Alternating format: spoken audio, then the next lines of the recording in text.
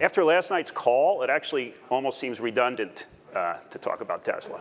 but I mean, was, seriously, was that the funniest friggin' call ever? So the name of this presentation is Tesla is still a zero. And that's a play on a presentation I gave at the Robinhood conference in November 2016, which was called Tesla is a Zero. And when I gave that presentation, the stock was in the 180s. And around six months later, it was in the 380s, which is my way of saying that that's a better disclaimer even than this is. so, three broad reasons why the equity in Tesla is worth zero. Number one, Tesla's financials are horrible and worsening even before massive competition begins arriving later this year. Number two, Tesla has no moat of any kind, and in fact now possesses trailing technology in all facets of its business. And by the way, I can go into the weeds on all of this stuff, so grab me anytime and I'll explain these, these things. And number three, a bet on Elon is a bet on someone who can't be trusted. He has a long track record of making hugely misleading statements. Now, I know Tesla longs think it's all about the future. And by the way, I'm sure there are zero Tesla longs in this room because this is a short selling conference. But for the general public, I know Tesla longs think it's all about the future. So here's just a quick look at the current financials. Q1 2018 GAAP loss, excluding ZEV credit sales, was $760 million. This is the, the report they did yesterday. That's a loss of over $25,000 per car sold. Now, this loss was not because Tesla is in quote unquote growth mode. Porsche sells two and a half times as many cars as Tesla and is a slow grower. And yet, if we adjust Q, uh, this should be Q1 Tesla GAAP loss. I didn't, I forgot to change that last night. To Porsche's level of R&D, uh, which is 9.9% of revenue, Tesla still would have lost over $24,000 a car, excluding ZEV sales. And the ZEV sales only made a difference of between one and 2,000 a car. So even on a GAAP basis, they, they lost that. Q1 2018 Model S and X sales were down double digit percentages year over year. There's your hyper growth. And sequentially, even before much nicer luxury EVs roll out from Jaguar, Audi, Mercedes, and Porsche later this year and, and next year. And what about the Model 3? We'll cover that later. So Tesla is now 15 years old. How's that profitability scale coming along? Let me give you a hint. 2009 is on the left. this is the quarter they reported yesterday, okay? Those are the losses. Tesla has, this is, this is also wrong, I have to fix this, I apologize. It has around 2.3 billion, not 3 billion, in negative net working capital. Q1 free cash flow was over negative $1 billion. Tesla could literally declare bankruptcy before the cocktail hour later. But Teslemmings say Tesla is worth its $60 billion enterprise value because it's all about the future. Okay, let's look at that future.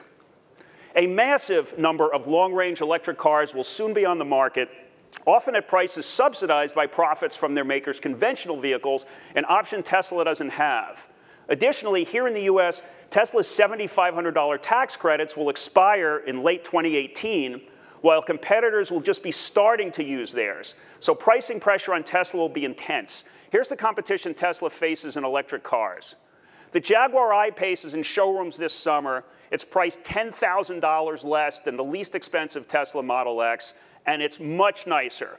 It'll be $17,000 less expensive when Tesla's tax credits run out. Now, in fairness, this is a little bit smaller than the X. This doesn't have the third row seat, but I think a lot of people buy the X because they want an electric SUV and don't need that third row seat. That's just the only choice that they've had in, in a luxury model. Well, that, that's changing.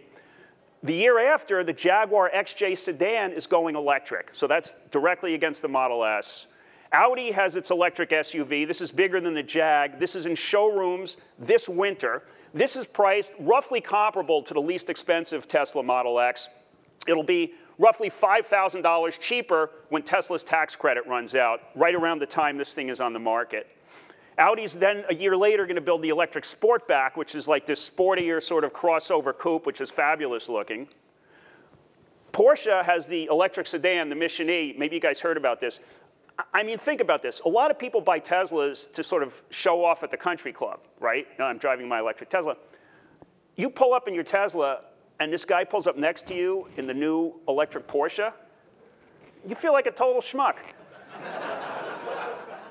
The next weekend, you're at the dealer. Get me out of this thing. Get me one of those. That's what's going to happen. Two years after that, Porsche is building a crossover based on the Mission E. Um, so that'll be out in like 2020. Mercedes, its first electric SUV comes out next year called the ECQ. They've been winter testing it. By the way, none of these are vaporware cars. You can go on YouTube and find hundreds of these being driven in like winter testing on, on the Nuremberg racetrack, all this stuff. I mean, these are all real. Mercedes is then going to launch an electric version of the S-Class. I mean, look at the interior of an S-Class compared to a Tesla, right? If you had that choice and you want an electric car, I mean, this becomes a no-brainer, right? This is out in two years. Mercedes wheels out electric car roadmap, car and battery factories everywhere. I mean, this is Daimler, a real company, spending real money all over the world to build electric cars. I mean, they alone would crush Tesla. Hyundai is coming out with a 250 mile range crossover for the mass market. That's out later this year as a 2019 model. This is sort of the vaporware Tesla Model Y that we will probably never see. This is available, as I said, later this year. 14 new EV models by Hyundai by 2025. The Bolt is out now. It's a great little car, selling, selling pretty steadily. I don't know, maybe 2,000, 2,500 a month. And believe it or not, even the Bolt has taken away from Tesla sales because for a while it was the only other 200 plus mile electric car available. And if you didn't want a Model S, uh, you could buy this Bolt now if you didn't want to spend the money on an S. Before you didn't have that choice.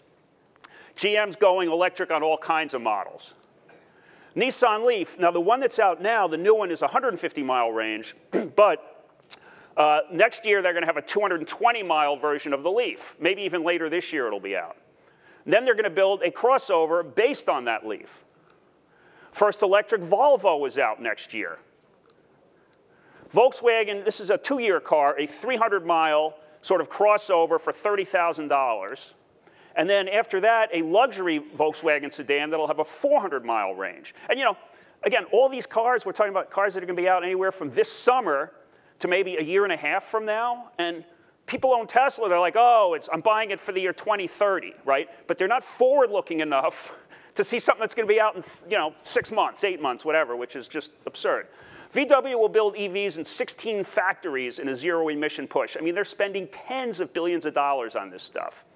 BMW is going to export the iX3 electric crossover. They're building it in China. They're going to send it to Europe and the US. This car's out in two years. Then BMW is going to have this flagship electric car called the i4. BMW's electric car future mapped out 25 pure EVs and hybrids by the year 2025. Ford plans $11 billion investment in electrified vehicles. New Land Rover Defender goes electric. Toyota is going to market over 10 battery EV models by the early 2020s. Toyota, Mazda, and Denso creating company to hasten electric car development. Infiniti will go mostly electric by 2021.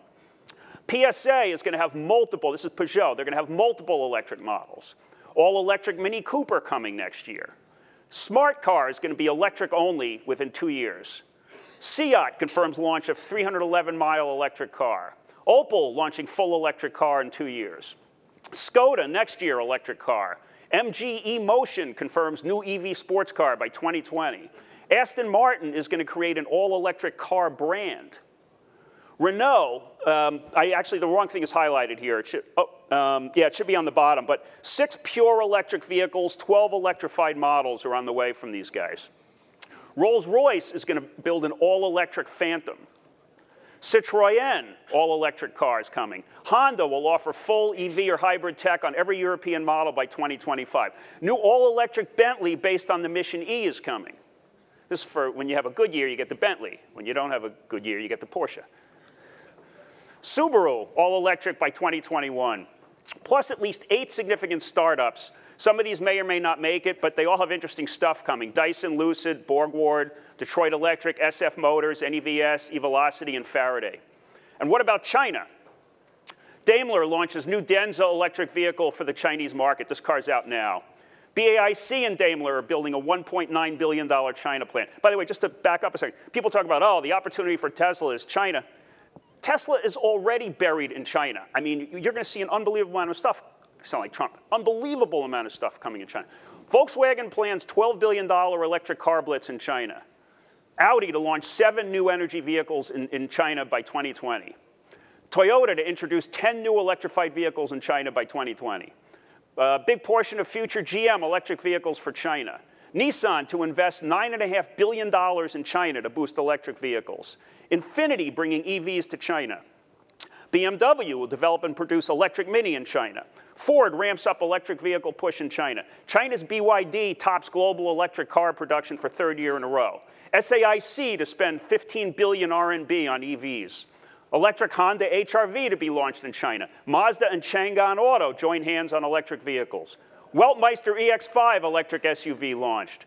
NIO's ES8 electric crossover debuts with half the Tesla Model X's price tag. Geely to build new, new energy vehicle production base in eastern China. Great Wall starts new EV brand in China. FAW to roll out 17 models, mostly electric, by 2025. JAC is another Chinese brand 500 kilometer range electric car. Tesla has over 300 Chinese startups hot on its tail. Here are some of the better known Chinese startups. They're all linked on the presentation if I send it to you. Point being like, Tesla could announce a Chinese factory deal, you know, tomorrow, right? And people are, oh, and Phil LeBeau on CNBC would talk about, spike the stock, $30. It would be freaking meaningless. There is already millions of electric car capacity either there now or there long before that factory can be open, and they'll just be a, a drop in the ocean if, if, they, if they don't go bankrupt first. But what about electric car batteries? Tesla's a battery company, right? And what about the Gigafactory? Tesla's battery cells are made by Panasonic. Panasonic's so-called investment in the Gigafactory is really a capital lease of its equipment to Tesla. Tesla uses a small cylindrical cell that, because it's expensive to assemble into packs, has been obsoleted by new, larger format cells. No other automaker even wants to use them. Think about that. All those slides I showed you are clean sheet designs. Any single one of them could use the same format Tesla's using because Panasonic will sell those batteries to anybody. None of them want to use it. It doesn't make sense to use that. Tesla's married to it because when it first designed its battery packs in sort of the mid 2000s, this other option wasn't available. That's one of the things I mean by them now being with, on trailing edge in technology. Panasonic happily sells these larger cells to Tesla's competitors. Because of Tesla's locked-in purchase agreements to Panasonic, and by the way, I think it's $16 billion or maybe more of purchase commitments that are on the balance sheet to Panasonic, it may now be paying significantly more for batteries than its competitors. So here's where Tesla's electric car competition will get batteries. LG, Samsung, SK Innovation, huge Chinese company, um, Toshiba, Panasonic, selling, I mean, selling to anybody who wants them. Uh, the European Battery Alliance is putting together a consortium to build factories in Europe. Northvolt is a, a well-financed new startup in Europe. Uh, CATL is a giant uh, Chinese company.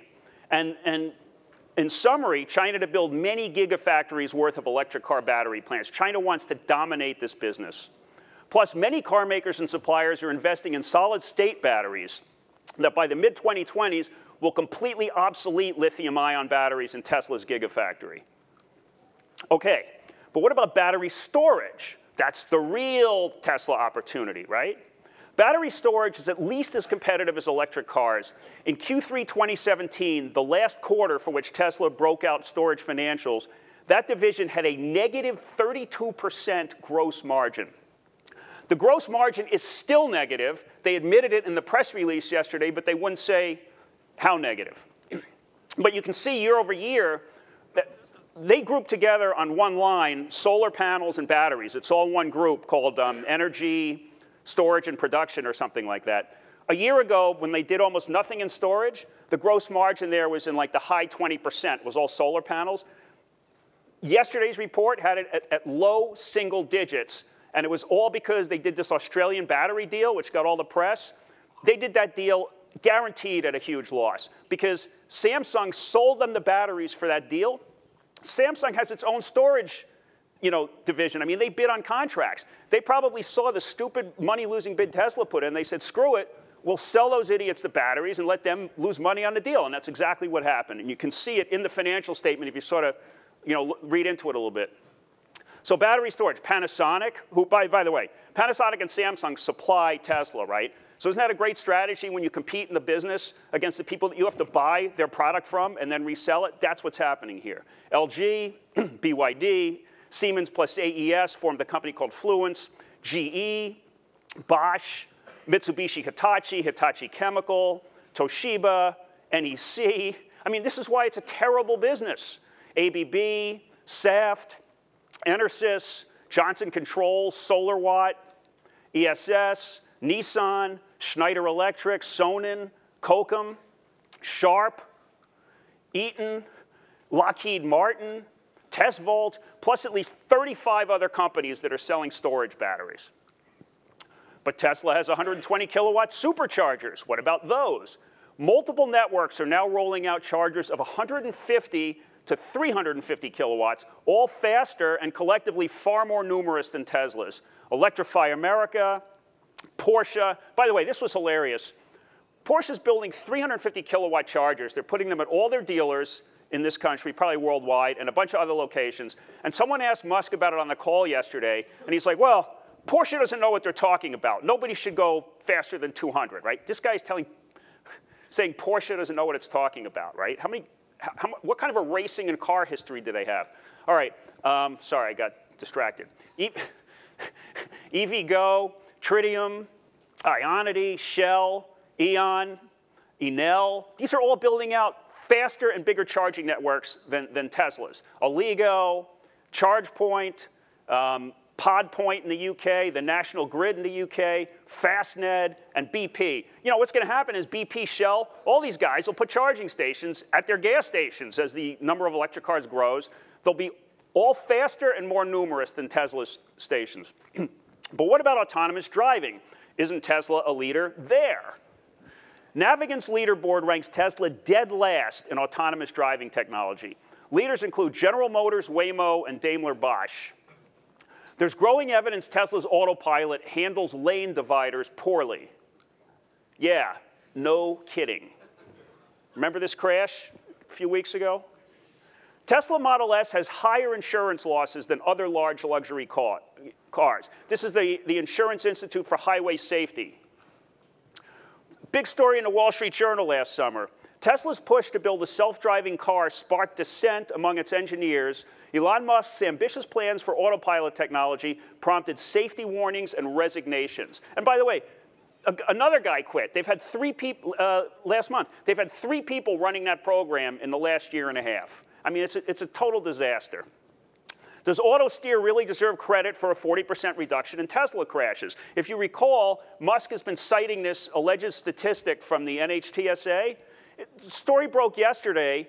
There was already evidence that he was making this shit up. But the story broke yesterday that, he, that they blatantly lied because the NHTSA came out and said, no, we never said that. That's Tesla's statistic that they made up.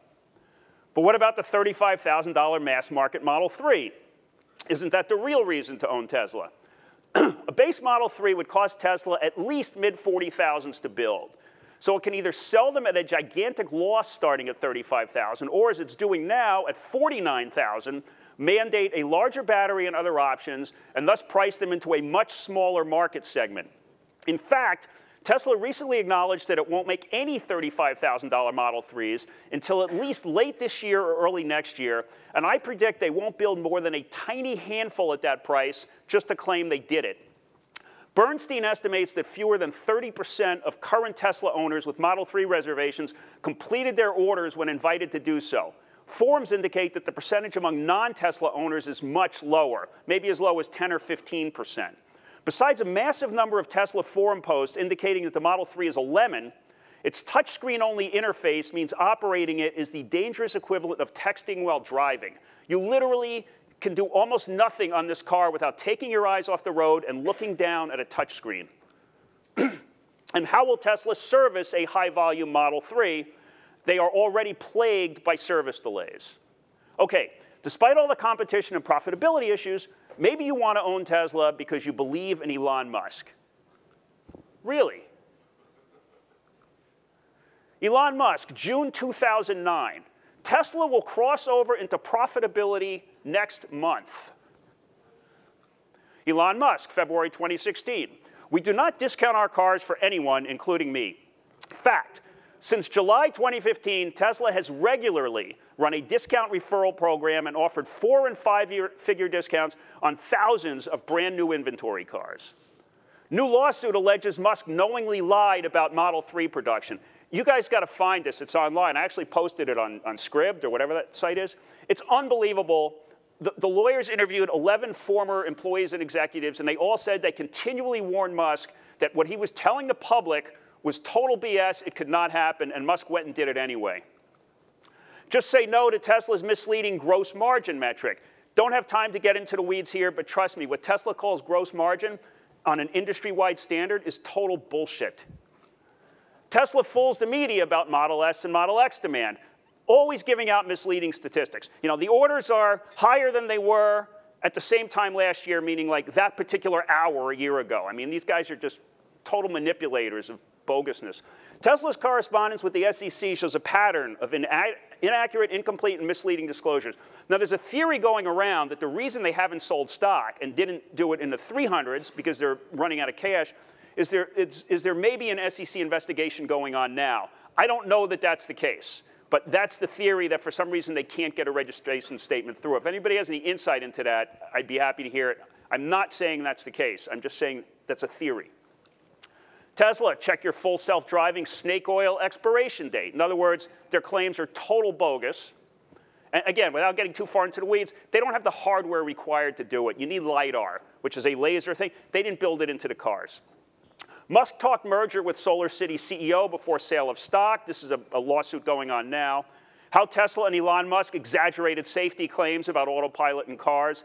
Tesla's timeline shows Musk's morality is highly convenient. Tesla has had a stunning number of executive departures. Jim Chanos recently said the only companies in which he'd seen something similar were Valeant and Enron. The list with which he provided me is so long it requires three slides.